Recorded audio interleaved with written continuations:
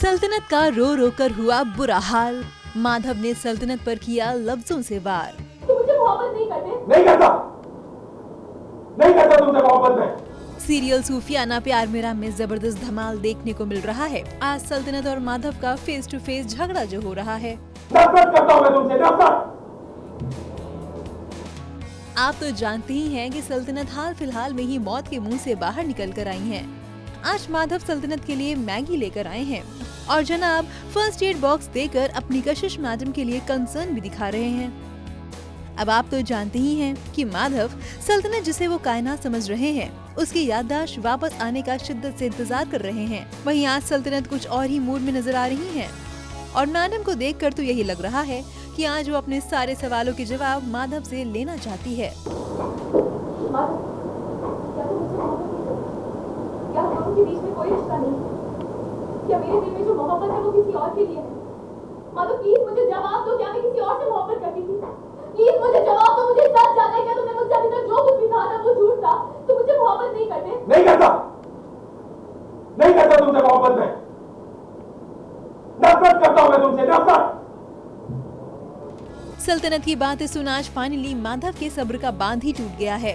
और जनाब के दिल में इतने टाइम से जो कुछ भी था वो सब सल्तनत के सामने बोल दिया है मैंने ऐसा क्या किया जो तुम मुझसे इतनी नफरत करती हो माधव प्लीज़ मुझे सच जानना सच है जान के क्या करोगी क्या करोगी सच जान के वो सच?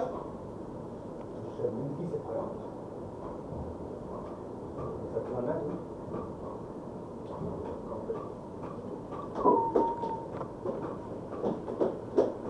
देखो। देखो अपना ये चेहरा। इस शक्ल को देख, इस शक्ल को देखकर याद करने की कोशिश करो। शायद तुम्हें याद आ जाए कि तुम्हारी गलती क्या है। ये याद आ जाए कि कितनी घटिया इंसान हो तुम। ये याद आ जाए कि कितना बड़ा गुनाह किया तुमने मेरे साथ।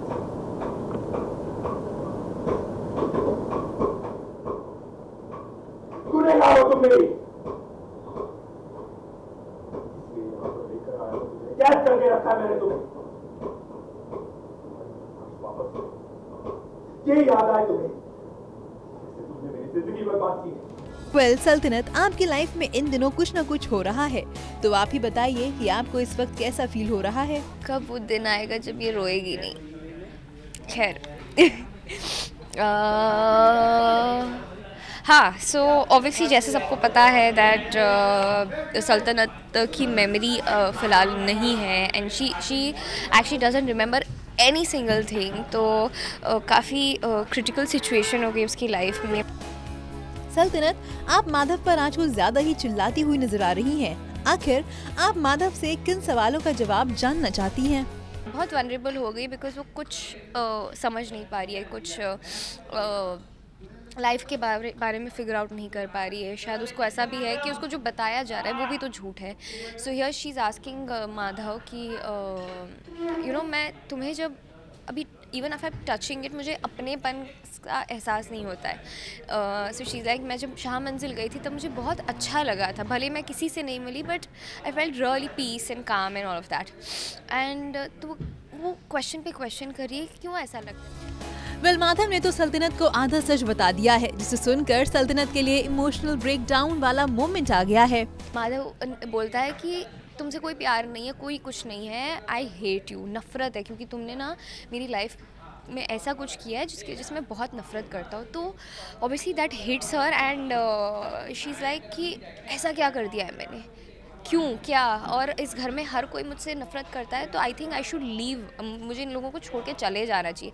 I better get my answers out of this house मैं ढूंढूँ कि क्यों हो रहा है और मैंने ऐसा क्या किया है। So that's the whole going चलिए अब सल्तनत से ही जान लेते हैं कि मोहतरमा ने सच जानने के बाद क्या फैसला लिया है। फ़िलहाल तो यहाँ से जा रही है वो। सो so, यहाँ से वो जवाब ढूँढने के लिए मैं भी अपने सेट से शिफ्टिंग करके दूसरी जगह जा रही ताकि मुझे जवाब मिले और मैं वहाँ जाके शूट करूँ ताकि पीपल गेट टू नो कि ये कहाँ जा रही है और कहाँ शूट कर रही है। भाई, सच जानने के बाद सल्तनत ने तो घर छोड़ने का प्लान बना लिया है। अब देखना दिलचस्प होगा कि सल्तनत के इस फैसले से उनकी लाइफ में कौन सा नया ट्विस्ट आने वाला है। मुंबई से शिल्पा पाटिल की रिपोर्ट ई ट्वेंटी